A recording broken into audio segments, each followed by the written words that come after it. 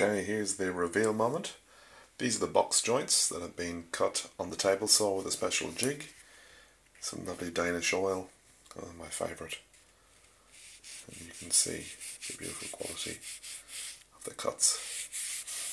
Many coats, and I think there'll be a little bit of sanding in between as well.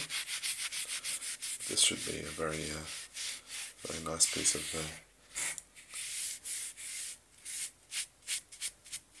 Very nice piece.